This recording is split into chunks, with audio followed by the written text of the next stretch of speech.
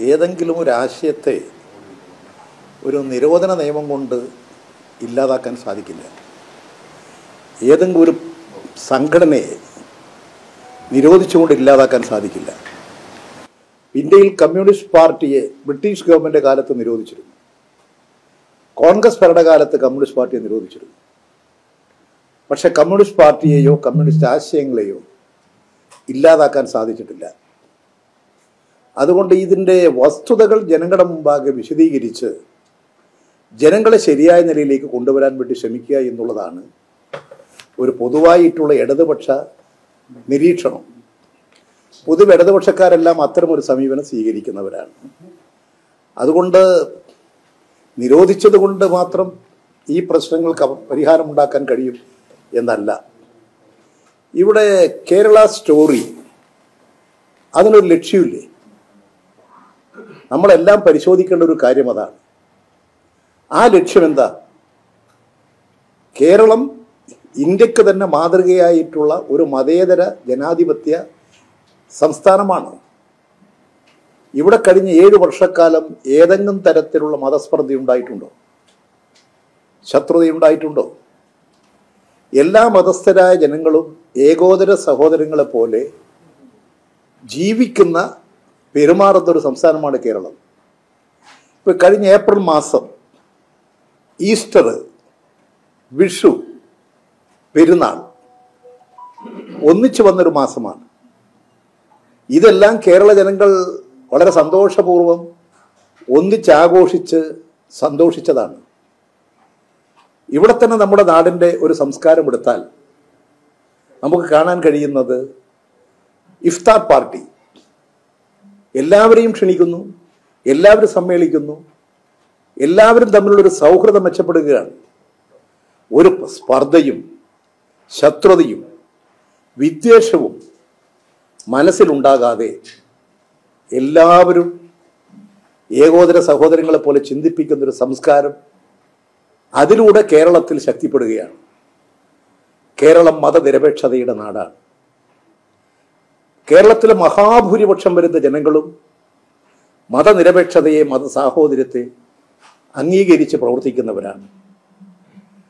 അതുകൊണ്ട് അത്തരമൊരു സംസ്ഥാനത്ത് ഒരു വർഗീയ വിദ്വേഷം ഉണ്ടാക്കുക വർഗീയ ധ്രുവീകരണം ഉണ്ടാക്കുക എന്ന രാഷ്ട്രീയ ലക്ഷ്യം വെച്ചുകൊണ്ടാണ് ദി കേരള സ്റ്റോറി എന്ന സിനിമക്ക് രൂപം കൊടുത്തിട്ടുള്ളത് എന്ന് എല്ലാവർക്കും അറിയാം. ഈ സിനിമ ഉണ്ടാക്കുന്നവർക്കും അറിയാം. അതിന്റെ സംവിധായകനും അറിയാം നിർമ്മാതാവിനും അറിയാം അതിന്റെ പണം ചെലവാക്കിക്കൊണ്ടിരിക്കുന്ന എല്ലാവർക്കും അറിയാം. അത് നാടിന് ആപത്താണ്. അത് ജനങ്ങൾ തിരിച്ചറിയണമെന്നാണ് പൊതുവെ ഇടതുപക്ഷക്കാർ ജനങ്ങളോട് അഭ്യർത്ഥിക്കുന്നത്. അതിന്റെ ലക്ഷ്യം മതനിരപേക്ഷതയെ തകർത്ത് വർഗീയ ശിഥിലീകരണം പരസ്പര വിദ്വേഷമുണ്ടാക്കുക എന്നുള്ളതാണ്. ഇല്ലാത്ത സംഭവത്തെ സൃഷ്ടിച്ച് ഉള്ളതാക്കി സിനിമയിലൂടെ ചിത്രീകരിച്ച് സാധാരണ ഒരു സിനിമ പോലെ ആളുകളെ രസിപ്പിക്കുകയും സന്തോഷിപ്പിക്കുകയും ചെയ്യുന്നതിന് വേണ്ടിയിട്ടുള്ളതല്ല. ഞാൻ ആ സിനിമ കണ്ടിട്ടില്ല. മാധ്യമങ്ങളിലും മറ്റും വന്നിട്ടുള്ള അറിവുകളും അതിന്റെ വിശദാംശങ്ങളും കഴിഞ്ഞ ദിവസങ്ങളിൽ മനസ്സിലാക്കി. ചാനലുകളിലും അതുപോലെ തന്നെ മറ്റ് മാധ്യമരംഗത്തും വന്നിട്ടുള്ള എല്ലാ വാർത്തകളും എല്ലാവരുടെയും അഭിപ്രായങ്ങൾ കേട്ട് അതിൽ നിന്ന് ഉണ്ടായിട്ടുള്ളൊരു നിരീക്ഷണമാണിത്. അതുകൊണ്ട് ഇത്തരത്തിലുള്ള വർഗീയ വിദ്വേഷങ്ങൾ സൃഷ്ടിക്കാൻ ഇല്ലാത്ത സംഭവം പെരുപ്പിച്ച് ഇല്ലാത്ത സംഭവം ഉണ്ടാക്കി നാം ഏത് നിലപാടുകളിലും മനുഷ്യന്റെ സാഹോദര്യത്തിനല്ലേ പ്രാമുഖ്യം കൊടുക്കേണ്ടത്? അത് തകർക്കുന്ന ഏതെങ്കിലും പ്രവണതയ്ക്ക് കൂട്ടുനിൽക്കാൻ പാടുണ്ടോ? അതുകൊണ്ടാണ് എല്ലാവരും ആ സിനിമയുടെ ദുരുദ്ദേശപരമായ സങ്കുചിതമായ ജനദ്രോഹപരമായ ജനാധിപത്യ വിരുദ്ധമായ മനുഷ്യത്വരഹിതമായ സമീപനത്തെ ശക്തമായി എതിർക്കണം എന്ന് പൊതുവായി അഭിപ്രായം ഉയർന്നു വന്നിട്ടുള്ളത്. ആ സിനിമയ്ക്കകത്ത് ഉപയോഗിച്ചിരിക്കുന്നത് വി എസ് അച്യുതാനന്ദൻ മുമ്പ് നടത്തിയ ഒരു പ്രസംഗമാണെന്നാണ് പറയുന്നത്. ആ പ്രസംഗത്തിനെതിരെയും വലിയ ഫേസ്ബുക്കിൽ ആ പ്രസംഗം പ്രസംഗത്തിനെതിരെയും വലിയ പരാമർശം ഇപ്പൊ നടന്നുകൊണ്ടിരിക്കുന്നത് യഥാർത്ഥത്തിൽ ആ പ്രസംഗം അതാണ് അർത്ഥമാക്കിയത്. ഓരോ കാലഘട്ടത്തിലും അന്ന് ഉയർന്നു വരുന്ന പ്രശ്നങ്ങളെ അടിസ്ഥാനപ്പെടുത്തിയിട്ട് അഭിപ്രായങ്ങൾ പറയൂ. നിങ്ങളെല്ലാം കേരളത്തിൽ രാഷ്ട്രീയക്കാരുടെ പ്രസംഗം നിരീക്ഷിച്ചിട്ടുള്ളവരാണ്.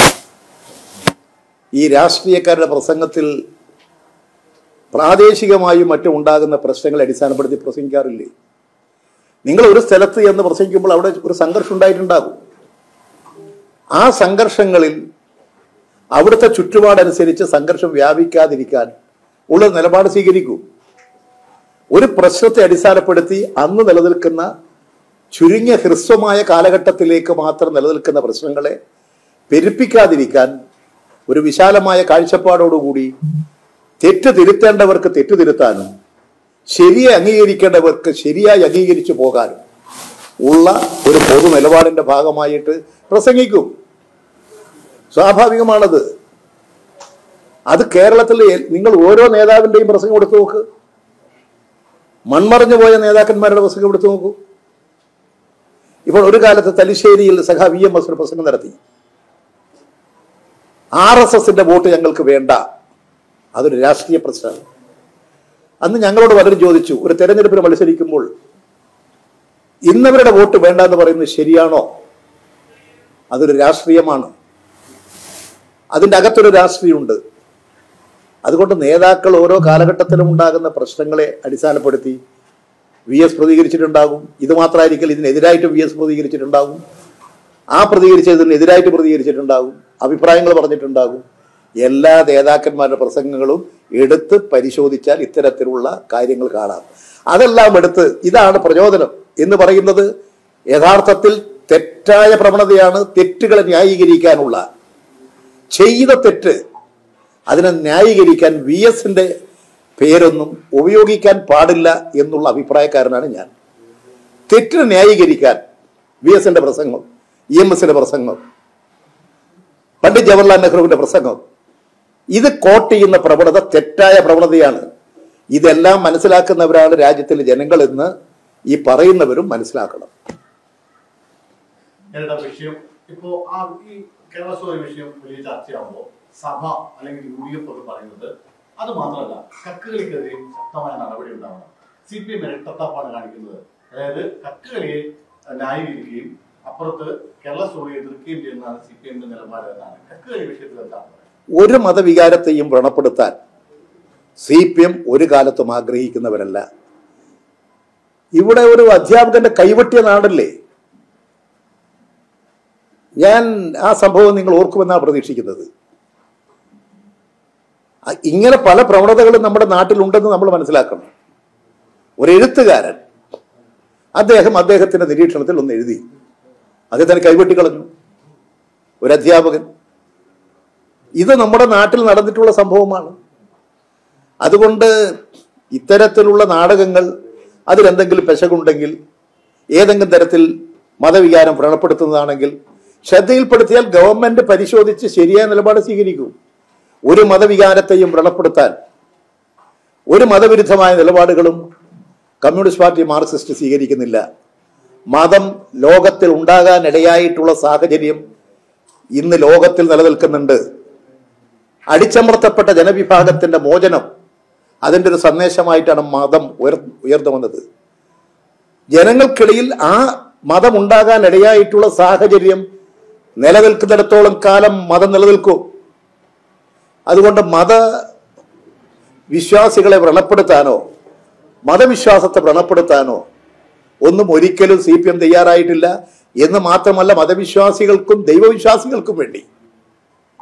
പോരാടി ജീവൻ കൊടുത്ത് പോരാടിയ പാരമ്പര്യമാണ് സി പി എമ്മിനുള്ളത് എന്ന് കേരള ചരിത്രം പരിശോധിക്കുന്ന അവർക്കറിയാം. ഇപ്പൊ ക്ഷേത്രങ്ങളിൽ വിശ്വാസികൾ അവിടെ വിശ്വാസം കാത്തു സൂക്ഷിക്കാനാണ് അതിനു വേണ്ടിയിട്ടാണ് ശ്രമിക്കുന്നത്. അതാണ് കമ്മ്യൂണിസ്റ്റ് പാർട്ടി മാർക്സിസ്റ്റ് നയം. ജനങ്ങളുടെ വിശ്വാസം കാത്തു സൂക്ഷിക്കുക. മതം ഒരു തരത്തിലും മതം ദുരുപയോഗപ്പെടുത്താൻ ആരെയും സമ്മതിക്കാതിരിക്കുക. മതത്തിന്റെ തത്വങ്ങൾ പരിപാലിക്കുക. മത സാഹോദര്യം സംരക്ഷിക്കുക. മതവിരുദ്ധമായ നിലപാടുകൾ അത് വ്രണപ്പെടുത്തി മതവിരുദ്ധമായ നിലപാടുകൾ രാജ്യ അരാജകത്വം സൃഷ്ടിക്കും. അത്തരത്തിലുള്ള ഒരു സാഹചര്യങ്ങൾ സൃഷ്ടിക്കാതിരിക്കാനാണ് ഇടതുപക്ഷ പ്രസ്ഥാനങ്ങൾ പ്രവർത്തിക്കുന്നത്.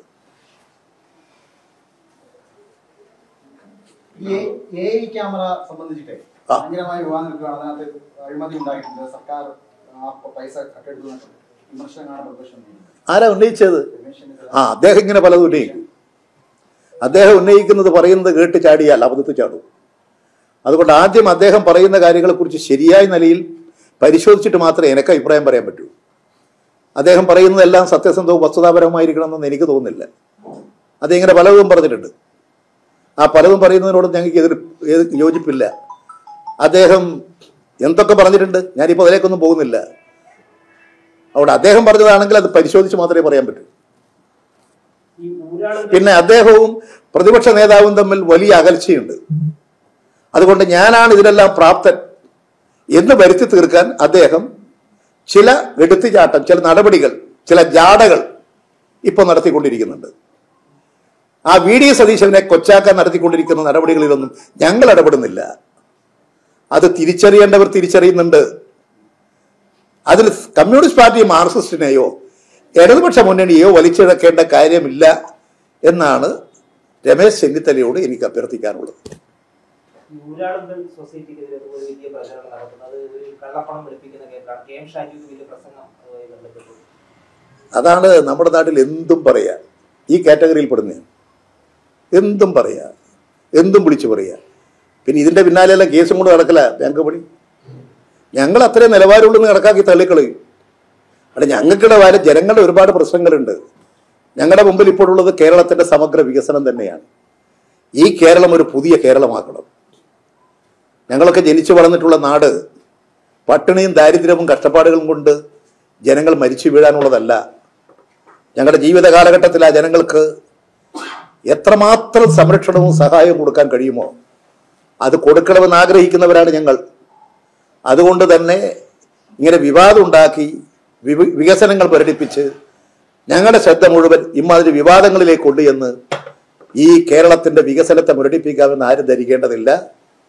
ചെണ്ട കൊട്ടി നടക്കുന്നവർ ചെണ്ട കൊട്ടി നടന്നുകൊള്ളുക ഈ ഇടതുപക്ഷ ജനാധിപത്യ മുന്നണിയും ഗവൺമെന്റും ജനക്ഷേമകരമായ പ്രവർത്തനങ്ങളിലൂടെ ഒരു വികസന കുതിപ്പിലൂടെ പുതിയ കേരളം സൃഷ്ടിക്കും. പട്ടിണിയും ദാരിദ്ര്യവും തൊഴിലില്ലായ്മയും കഷ്ടപ്പാടുകളും ഇല്ലാത്ത മൺമറഞ്ഞുപോയ നമ്മുടെ ദേശീയ നേതാക്കൾ അവരുടെ ജീവിതത്തിൽ ആഗ്രഹിച്ച ആ കേരളം കെട്ടിപ്പടുക്കലാണ് ഞങ്ങളുടെ ലക്ഷ്യം. പട്ടിണി കിടന്ന് മരിക്കാൻ ജനിച്ചിട്ടുള്ളവരല്ല മൂന്നരക്കോടി മലയാളികൾ. ഇവിടെ അന്തസ്സോടുകൂടി ജീവിക്കാൻ ജനിച്ചിട്ടുള്ളവരാണ്. അവരുടെ ആഗ്രഹം സാക്ഷാത്കരിക്കുക. അതിനെന്തൊക്കെ ഒരു ഗവൺമെന്റ് എന്നുള്ള ചെയ്യണം. അത് ചെയ്യുക എന്നുള്ളതാണ് ഇടതുപക്ഷ ഗവൺമെന്റിന്റെ ലക്ഷ്യം. ആ ലക്ഷ്യം നിർവഹിക്കും. സഹകരണ രംഗത്ത് ഒട്ടനവധി പ്രശസ്തമായ സ്ഥാപനങ്ങളുണ്ട്. ആ സ്ഥാപനങ്ങളെല്ലാം കേരള സമൂഹത്തിൽ ഒട്ടനവധി നന്മകൾ ചെയ്തുകൊണ്ടിരിക്കുന്നുണ്ട്. ഈ ഞാൻ ഇപ്പോൾ ഊരാളങ്കൽ കോപ്പറേറ്റീവ് സൊസൈറ്റിയെക്കുറിച്ച് ആക്ഷേപിക്കുന്നവർ അവരുടെ സഹായത്തിന് വേണ്ടി ക്യൂ നിൽക്കുകയല്ലേ? അവർ പ്രവർത്തനം ഏറ്റെടുക്കണമെന്ന് ആവശ്യപ്പെട്ടുകൊണ്ട് വരികയല്ലേ? സത്യസന്ധമായി നീതിപൂർവമായി ഒരു സഹകരണ സ്ഥാപനം എന്നുള്ള നിലയിൽ വികസന രംഗത്ത് കർമ്മോന്മുഖ രംഗത്ത് സജീവമായി പ്രവർത്തിക്കുന്ന ഒരു സംഘമാണത് എന്നതുകൊണ്ടല്ലേ യു ഡി എഫുകാർ ഉമ്മൻചാണ്ടിയുടെ ഭരണത്തിൽ രമേശ് ചെന്നിത്തലയുടെ ഭരണത്തിൽ ഈ ഊരാളെങ്കിൽ സൊസൈറ്റിയെ ഒരുപാട് പ്രവർത്തനങ്ങൾ ഏൽപ്പിച്ചത്?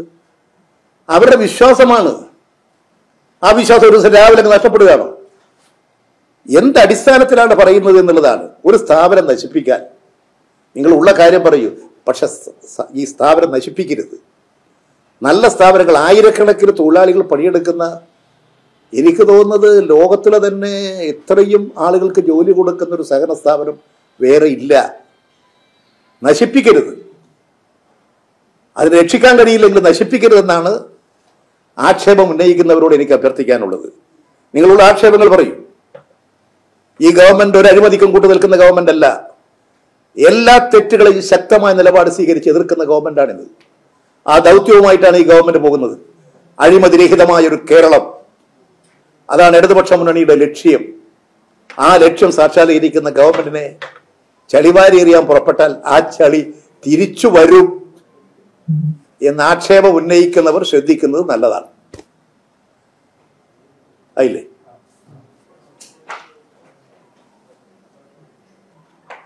പിന്നെ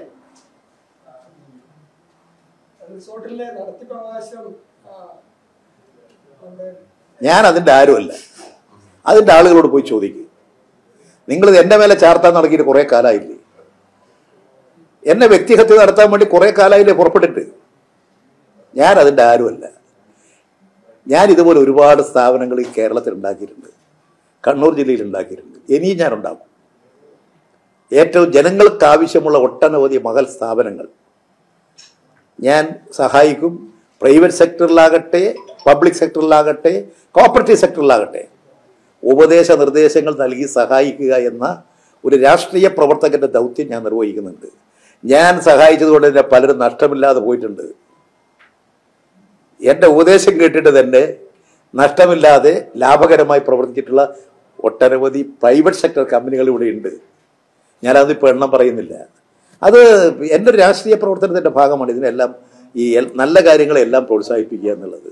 അതുകൊണ്ട് അത് വെച്ചുകൊണ്ട് എന്നെ നശിപ്പിക്കാൻ കുറേ കാലമായി പുറപ്പെട്ടിട്ട് എന്തൊക്കെയാ പറഞ്ഞു വരത്തിയത് income tax raid E D raid ഏത് ഇൻകം ടാക്സ് നിങ്ങളൊക്കെ അല്ലേ എഴുതി പറഞ്ഞത്? ഏത് ഇൻകം ടാക്സ് റെയ്ഡായിട്ടുണ്ടായിരുന്നു ഏത് ഇൻകം ടാക്സ് അവിടെ ടി ഡി എസ് കൊടുത്തതൊക്കെ എല്ലാം പരിശോധിക്കുന്ന കൂട്ടത്തിൽ മുൻകാലങ്ങളിൽ ടി ഡി എസ് കൊടുത്തില്ല കമ്പനി ഇപ്പൊ ടി ഡി എസ് കൊടുക്കേണ്ട അവർ ഒരു അഞ്ചെട്ട് മാസമായിട്ട്. അതെന്തുകൊണ്ടാണെന്ന് അവർ വന്ന് പരിശോധിക്കുന്നു. എന്താ കൊടുത്ത നിങ്ങൾ കൊടുത്ത ഭൂകമ്പം? ഇതാണോ മാധ്യമരംഗത്ത് നിങ്ങൾ നിർവഹിക്കണം? നിങ്ങൾ നിർവഹിച്ചാൽ എനിക്ക് പരാതിയൊന്നുമില്ല. ഞാനതൊന്നും ബലം വെക്കുന്നില്ല. നാളെ നിങ്ങൾ ദുഃഖിക്കേണ്ടി വരും. ഇങ്ങനെ പറഞ്ഞു പോയല്ലോ എന്നുള്ളത് കൊണ്ട് ഇപ്പോൾ പലർക്കും ദുഃഖമുണ്ടെന്ന് എനിക്കറിയാം. കാരണം പലരും എന്നെ വിളിച്ച് പറയുന്നുണ്ട്. ഞങ്ങൾ ഞങ്ങളെ കൊടുത്തതല്ല. ഞങ്ങളെ കൊടുത്തു പോയതാണെന്നൊക്കെ പറയുന്നുണ്ട് നല്ലത്. പക്ഷെ ഒരാളോട് ഞാൻ എനിക്ക് ഒരു പകയോ വിദ്വേഷമോ ഇത് കൊടുത്തു എന്നുള്ളത് കൊണ്ട് ആരോടും എന്തോ ഒരു വിരോധമില്ല ആ, നമ്മൾ ആ വിജയം കൊടുത്തു. എന്റെ അടുക്ക ഒരു ഒരു ക്ഷേത്രത്തിൽ ഇരുളാവില ചുള്ളി ഭഗവതി ക്ഷേത്രം. എന്റെ വീട്ടിനടുത്താണ് ഞാൻ ജനിച്ചോളം നാട്ടിലൂടെയാണ് നാട്ടിൽ. ഇവിടെ ഇരുളാവിൽ. ആ ക്ഷേത്രത്തിന്റെ ഭാരവാഹികൾ എനിക്ക് എം എൽ എ എന്നുള്ളതിൽ ഒരു കത്ത് തന്നു. അത് അവിടെ ഈ അവരൊരു പന്ത്രണ്ട് ഞാൻ ഈ ചെറുകുന്നമ്പലത്തിലേക്ക് പണ്ട് എം എൽ എ ആയിരുന്ന അവസരത്തിൽ പിന്നെ അന്ന് നമ്മുടെ മരിച്ചുപോയ ആയിരുന്ന നമ്മുടെ ടെമ്പിൾ മിനിസ്റ്റർ പിന്നെ ദേവസ്വം വകുപ്പ് മന്ത്രി കർത്ത. അത് പിന്നെ അന്ന് ഞാൻ ഈ ഈ ക്ഷേത്രത്തിന് വേണ്ടി ഈ ചെറുകുന്നമ്പലത്തിന്റെ പ്രത്യേകത അവിടുത്തെ പന്തൽ എന്ന് പറയുന്നത് കേരളത്തിലെ ക്ഷേത്രമുറ്റത്തെ ഏറ്റവും വലിയ പന്തലാണ് വട്ടപ്പന്തൽ എന്നാ പറയുക. അതിന്റെ പന്തലിനൊക്കെ അന്നുള്ള തൂളെല്ലാം നശിച്ചുപോയി. അതുകൊണ്ട് അവരെന്റെയൊക്കെ വന്നു? ഞാൻ ഇടപെട്ട് ആ മന്ത്രിയെ തന്നെ ഒരു പ്രാവശ്യം ഇവിടെ കൂട്ടിക്കൊണ്ടുവന്ന് അദ്ദേഹം ഇതെല്ലാം കാണിച്ചു കൊടുത്ത് ഈ ക്ഷേത്രം ഇത് കണ്ടപ്പോൾ അദ്ദേഹത്തിന് തോന്നി. അദ്ദേഹം എന്നിട്ട് സ്പെഷ്യൽ ഓർഡർ മുഖാന്തരം തേക്കൻ കാൽ. ഈ ക്ഷേത്രത്തിന് ഇന്നിപ്പോൾ എനിക്ക് തോന്നുന്നു അത് തന്നെയാണ് അവിടെ ഇപ്പോഴും അവർ ഉപയോഗിച്ചുകൊണ്ടിരിക്കുന്നത്. ഞാൻ കഴിഞ്ഞ ദിവസം അവിടെ പോയപ്പോൾ അവർ പറഞ്ഞു നിങ്ങളെ തേക്കും കാലായത്. ഞാൻ അന്ന് അവർക്ക് പിന്നെ സഹായിച്ചു. തേക്കും കാൽ കിട്ടി. നല്ല പന്തൽ വട്ടപ്പന്തൽ കേരളത്തിന്റെ ചരിത്രപ്രസിദ്ധമായ അന്നപൂർണേശ്വരി ക്ഷേത്രത്തിന്റെ പന്തലാണത്. ഞാനൊരു ജനപ്രതി എന്നുള്ള നിലയിൽ ഞാൻ ചെയ്തു കൊടുത്തിട്ട് സഹായമായിരുന്നു ഇത് മനസ്സിലാക്കിയിട്ടുള്ളവരാണ് ഇരണാവ് ക്ഷേത്രത്തിൽ അവരവർ പറഞ്ഞു ഞങ്ങൾ ഈ ക്ഷേത്രത്തിന്റെ ശ്രീകോവിൽ പണിയുന്നുണ്ട്. അതല്ല ചോർന്നൊലിച്ച് നശിച്ചുകൊണ്ടിരിക്കുകയാണ്. അതുകൊണ്ട് ഞങ്ങൾ രാ ഇതൊക്കെ വെച്ച് ജ്യോതിഷപ്രകാരം നോക്കിയപ്പോൾ ഇത് വലിയ ദൈവകോപമുണ്ട്. ഈ നാടിന് വലിയ പ്രശ്നമുണ്ട്. അതുകൊണ്ട് ഞങ്ങൾ ഈ ശ്രീകോവിലെല്ലാം ഒന്ന് പൊളിച്ചു പണിയാൻ ഉദ്ദേശിക്കുന്നത് ഞങ്ങൾക്ക് തേക്ക് വേണം. സഹായിച്ചാൽ തിരക്കേടില്ല. ഞാൻ അവരെ ഇവിടെ നിങ്ങൾ പെറ്റീഷൻ അവരെഴുതുന്നു ആ നിവേദനം ഞാൻ കൺസേൺ മിനിസ്റ്റർക്ക് അയച്ചു കൊടുത്തു. ആ നിവേദനം നേരെ ഇവിടെ തളിപ്പറമ്പിൽ അന്വേഷണത്തിന് അവരയച്ചു. ആ ഓഫീസിൽ പോയിട്ടാണ് നമ്മളെ വിജയൻ ഇത് വാങ്ങിയിട്ട്. അതിന്റെ അകത്ത് അവരെഴുതിയതാണ് ഈ പറയുന്ന എത്ര അമ്പത് ക്യൂബിക് എത്ര മീറ്റർ. അവരെഴുതിയ പെറ്റീഷനിലാണത്. ആ പെറ്റീഷൻ ഞാൻ റെഫർ ചെയ്തതാണ്. എന്നിട്ട് പറഞ്ഞ് ഞാനിങ്ങനെ ഈ തടി വാങ്ങി. ഇതൊക്കെയാണ് പത്രപ്രവർത്തകർ. വിജയൻ നന്നാവട്ടെ. ഒരു ഒരു ഒരു ബുദ്ധിമുട്ടില്ലാതെ അദ്ദേഹം ഇങ്ങനെ കഴിഞ്ഞു കൂടട്ടെ നമുക്കെല്ലാം പി ഒന്നുമല്ല. ആര് പറഞ്ഞു ബി ജയരാജൻ ഉന്നയിച്ചു? ആളെ പറഞ്ഞായിരുന്നു? ഞാൻ ഉന്നയിച്ച ആൾ? മാതൃഭൂമിന്റെ രഞ്ജിത്ത അതിന്റെ ആൾ. ശ്രീജിത്ത്. രഞ്ജിത്തല്ല ശ്രീജിത്ത്. അദ്ദേഹമാണ് അത് കമ്മ്യൂണിക്കേറ്റ് ചെയ്തത്. ഞാൻ അദ്ദേഹത്തോട് ചോദിച്ചില്ലല്ലോ. ഞാനിത് അറിഞ്ഞുകൊണ്ട് അദ്ദേഹത്തോട് വിളിച്ചു ചോദിച്ചിട്ടുണ്ട് ഞാനതൊന്നും മറച്ചു വെച്ചിട്ടില്ല. എനിക്കത് മറച്ചു വെക്കേണ്ട കാര്യം. ഇങ്ങനെ കുറച്ച് ആളുകൾ ഉപയോഗിച്ച് ഇതെല്ലാം ഇങ്ങനെ വാർത്ത പ്രചരിപ്പിച്ച്. ജയരാജൻ പറഞ്ഞതാ. ജയരാജനോട് പോയി ചോദിക്കും. നിങ്ങൾ നിങ്ങൾ എന്താ പറഞ്ഞു പറഞ്ഞു നിങ്ങൾ എഴുതി ഇന്നതൊക്കെ പറഞ്ഞിരിക്കുന്നത് നിങ്ങൾ പറഞ്ഞു അന്വേഷണ കമ്മീഷൻ വെച്ചിട്ടുണ്ടെന്ന്. നിങ്ങളല്ലേ പറഞ്ഞത്? പാർട്ടി തീരുമാനിച്ചു എപ്പോഴെങ്കിലും?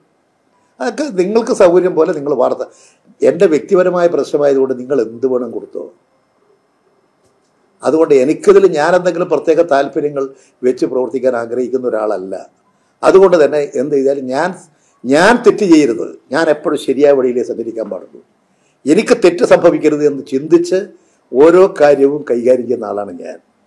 അതുകൊണ്ട് പലർക്കും വിഷമമുണ്ടാവും. പല എതിരായിട്ട് ശക്തമായ നിലപാട് സ്വീകരിക്കേണ്ടി വന്നിട്ടുണ്ടാവും. അതുകൊണ്ടൊക്കെ മാധ്യമങ്ങൾ ഉപയോഗിച്ചുകൊണ്ട് വാർത്തയുണ്ടാക്കാൻ ശ്രമിച്ചിട്ടുണ്ടെന്ന് എനിക്കറിയാം. പല മാധ്യമക്കാരെയും അതിനുവേണ്ടി ഉപയോഗിച്ചിട്ടുണ്ടെന്ന് എനിക്കറിയാം. അതെല്ലാം തുടരട്ടെ.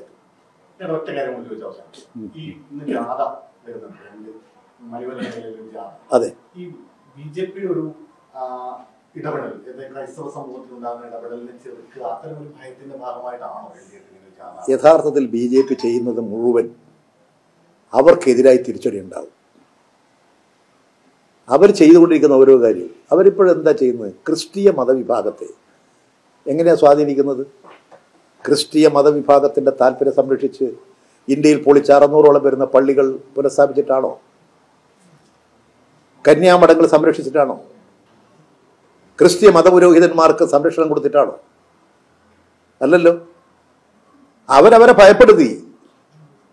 പാവം വൈദികന്മാർ അവരെ ശുദ്ധാത്മാക്കൾ അവരെ അടുത്ത് ചെന്ന് അവർ ഭരണത്തെ അവരെപ്പോഴും ആദരിക്കുകയും ബഹുമാനിക്കുകയും ചെയ്യുന്നവരാണ്. ഈ ക്രിസ്തീയ അതല്ല പൊതുവെ മത മേലധ്യക്ഷന്മാരും മത തലവന്മാരൊക്കെ എല്ലാം എല്ലാ ഗവൺമെന്റിനെയും ആദരിക്കുകയും ബഹുമാനിക്കുകയും ചെയ്യുന്നവരാണ്.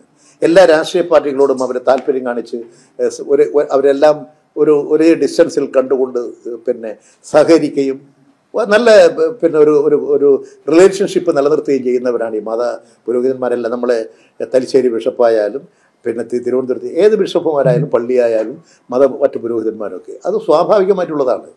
അതുകൊണ്ട് അവരെ ഭയപ്പെടുത്തി പിന്നെ അവിടെ പോയി. ഈ ഈ വിഷുദിനത്തിൽ നേരെ പോയി പറഞ്ഞുകൊണ്ട് ഈ ചെയ്തതെല്ലാം പാപം തീരുമോ ഈ ചെയ്തു പോയ പാപത്തിന്റെ മുക്തി എന്താ? നിങ്ങൾ ആദ്യം ആ പൊളിച്ച പള്ളികളെല്ലാം ഒന്ന് പണിത് കൊടുക്കുക നിങ്ങൾക്ക് ഒരു പിന്നെ ഇവിടെ കൊല ചെയ്യപ്പെട്ട വൈദികൻ അവരെയും രണ്ട് കുഞ്ഞുങ്ങളെയും തിരിച്ചു കൊടുക്കാൻ കഴിയില്ലല്ലോ. ഒറീസയിൽ. പുരോഹിതനെയും അദ്ദേഹത്തിന്റെ കുഞ്ഞുങ്ങളെ ചുട്ടുവന്ന ജീവൻ തിരിച്ചു കൊടുക്കാൻ നിങ്ങൾ കഴിയില്ലല്ലോ. പോട്ടെ ബാക്കിയെല്ലാം തിരിച്ചു കൊടുക്കാൻ കഴിയുന്ന തിരിച്ചു കൊടുക്ക്. എന്നിട്ട് ആ ജനതയോട് ഞങ്ങൾ നിങ്ങളുടെ മതപരമായ ചടങ്ങുകളിലും അനുഷ്ഠാനങ്ങളിലും ഇടപെടില്ല എന്ന് പറയാനുള്ള ആർജവമാണ് കാണിക്കേണ്ടത്. അല്ലാതെ തിരഞ്ഞെടുപ്പ് വരുന്നുണ്ടെന്ന് കണ്ട് ഇത് പോകുമ്പോൾ ഇതെല്ലാം തിരിച്ചറിയാനുള്ള വിവേകം ഈ സമൂഹത്തിനുണ്ട്. ഒന്ന് ന്യൂ ജനറേഷൻ എഡ്യൂക്കേറ്റഡ് ആണ് ചെറുപ്പക്കാരൊക്കെ വിദ്യാസമ്പന്നരാണ്. അവരൊരു ഒരുപാട് ലോകകാര്യങ്ങൾ പഠിച്ചിട്ടുള്ളവരാണ്. മനസ്സിലാക്കിക്കൊണ്ടിരിക്കുന്നവരാണ്. ആ ജനത ആ ചെറുപ്പക്കാർ ചെറുപ്പക്കാരികൾ ഇതിനോടെല്ലാം ശക്തമായി പ്രതികരിക്കും അവർക്കറിയാം. അതുകൊണ്ട് ഈ അരമനകൾ കയറിയിറങ്ങി മതപുരോഹിതന്മാരുടെ അരമനകളിൽ കുടിയിരിപ്പ് നടത്തി ഇവർക്ക് താൽക്കാലിക ലാഭമുണ്ടാക്കാൻ സാധിക്കുമെന്ന് പ്രതീക്ഷിക്കുന്നത് വലിയ അബദ്ധമായിരിക്കും. അതുകൊണ്ട് രാജ്യത്ത് ഇന്ന് നിലനിൽക്കുന്നത് മതനിരപേക്ഷതയാണ്. ഇപ്പൊ ചെയ്തുകൊണ്ടിരിക്കുന്ന ഓരോ കാര്യങ്ങളും. ഡൽഹിയിലെ മുഖ്യമന്ത്രിയെ ചോദ്യം ചെയ്തില്ലേ? ആ രാഹുൽ ഗാന്ധി അദ്ദേഹം രാഷ്ട്രീയമായി വിരോധം ഉണ്ടാകാം അദ്ദേഹം ഇന്ത്യൻ പാർലമെന്റ് അംഗമാണ്. കോൺഗ്രസിന്റെ ഇന്ത്യയിലെ സമുന്നതനായ നേതാവാണ്. അദ്ദേഹത്തെ കർണാടകത്തിൽ പ്രസംഗിച്ചതിന് ഗുജറാത്തിലാണല്ലോ കേസ് കൊടുത്തത്. ഗുജറാത്ത് കോടതിയിൽ കീഴ്ക്കോടതിയാണ് ശിക്ഷിച്ചത്. ശിക്ഷിക്കേണ്ട താമസം ആ ശിക്ഷ തന്നെ പരമാവധി എം പി സ്ഥാനം പോകാൻ എത്ര ശിക്ഷ വേണം തടവ് വേണം ആ രണ്ടു കൊല്ല. ശിക്ഷിച്ചു കഴിഞ്ഞ ഉടനെ തന്നെ അദ്ദേഹത്തെ പാർലമെന്റിൽ നിന്നും ഒഴിവാക്കുന്നു. ഒഴിവാക്കേണ്ട താമസം അദ്ദേഹത്തെ കോട്ടേഴ്സിൽ കുടിയിറക്കുന്നു. ഇതെല്ലാം ബി ജെ പിക്ക് ഗുണകരമായി തീരുമെന്നാണോ അവർ ധരിക്കുന്നത്? ഇതൊന്നും നാട്ടിലെ ജനങ്ങൾ അംഗീകരിക്കുന്ന രാഷ്ട്രീയമല്ല. അതുകൊണ്ട് B J P R S എസിന്റെ രാഷ്ട്രീയം നടപ്പിലാക്കുകയാണ്. ആർ എസ് എസിന്റെ ഫാസിസ്റ്റ് മുഖമാണത്. ആ ഫാസിസ്റ്റ് മുഖത്തോടൊപ്പം സഞ്ചരിക്കുന്നവർ തകരും ദുർബലപ്പെടും ശക്തമായ തിരിച്ചടി ഉണ്ടാകും. വരാൻ വേണ്ടി പോകുന്ന തെരഞ്ഞെടുപ്പൊക്കെ ഈ തിരിച്ചടിയുടെ ഫലമായിരിക്കും ഉണ്ടാവുക എന്നാണ് ഞാൻ കാണുന്നത്.